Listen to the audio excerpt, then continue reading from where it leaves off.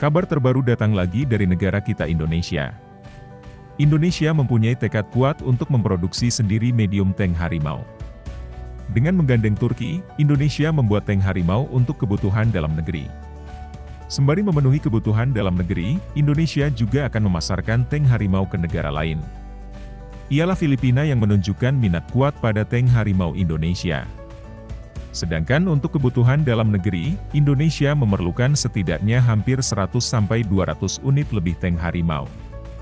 Banyak medium tank Indonesia sudah tua misalnya Rampur IMX-13, NIMX-13 didatangkan Indonesia pada tahun 1960-an sebanyak 175 unit.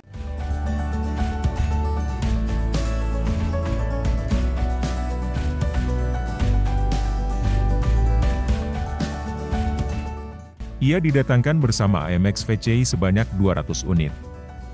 Baik AMX 13 dan VCI sudah saatnya diganti dengan tank Harimau. Mereka sudah bertugas terlalu lama dan berulang kali mengalami retrofit. Masalahnya kapasitas produksi industri pertahanan Indonesia tak bisa langsung mengganti jumlah AMX yang mencapai 300 lebih itu.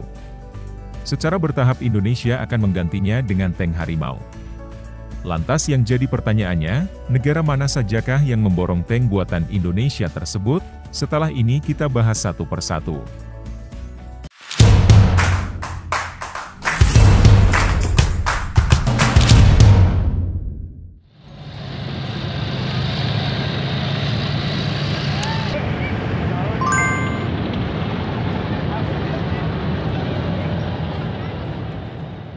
Pada akhir tahun ini, misalnya 18 unit tank Harimau akan memperkuat Indonesia.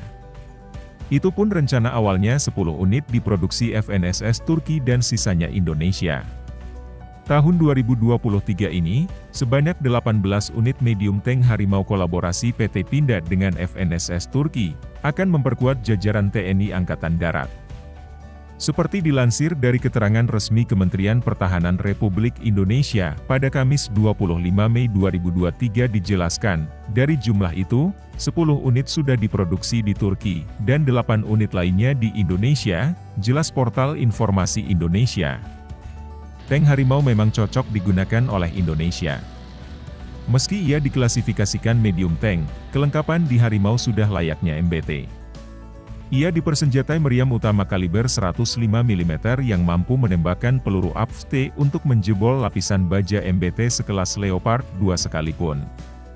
Gilanya tank Harimau mempunyai sistem proteksi balistik tingkat tertinggi yakni level 5.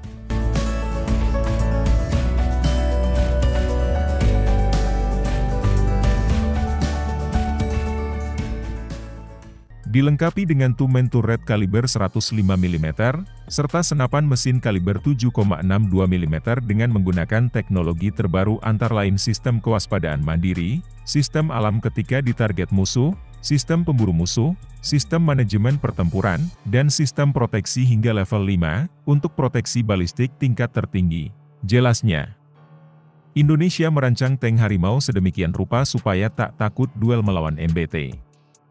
Uji coba tank Harimau beberapa waktu lalu membuktikan kapasitasnya mampu beroperasi di segala medan. Misal uji coba di Jalan Tanjakan Tawangmangu, Karanganyar, Jawa Tengah, dilibasnya tanpa masalah. Lantas uji coba di daerah perhutanan hingga pesisir pantai Parangkusumo, Yogyakarta juga dilaluinya tanpa masalah. Bobot ringan, lincah namun punya daya tembak mematikan membuat tank Harimau layak terjun ke medan tempur.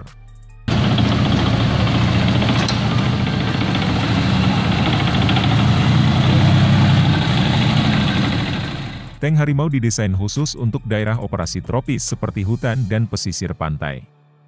Mengingat bobotnya yang lebih ringan dari man betel tank MBT.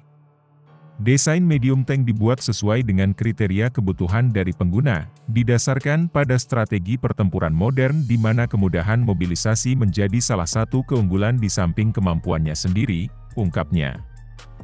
Masih ada lagi uji coba yang dilakukan ke tank Harimau yakni uji balistik dan ledakan. Sebelum diproduksi secara massal, prototipe tank telah menjalani sejumlah ujian yang sangat berat. Mulai dari uji tembak, uji balistik, uji medan di Indonesia dan Turki hingga uji ledakan ranjau, jelasnya. tank Harimau juga sudah memenuhi standar NATO.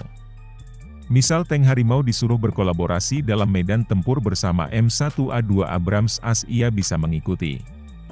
Karena mempunyai spesifikasi tingkat tinggi tak ayal kemandirian produksi industri pertahanan Indonesia akan tank Harimau membuatnya sejajar dengan Jepang dan Polandia. Indonesia boleh berbangga. Salah satu inovasi yang dilakukan PT Pindad ini membuat Indonesia menjadi negara ketiga di dunia yang mampu memproduksi kendaraan tempur sejenis medium tank. Indonesia pun kini bisa disejajarkan dengan Jepang dan Polandia, yang juga lebih dahulu memproduksi tank penjelajah hutan ini, ungkapnya. Masa depan tank harimau Indonesia dipastikan cerah.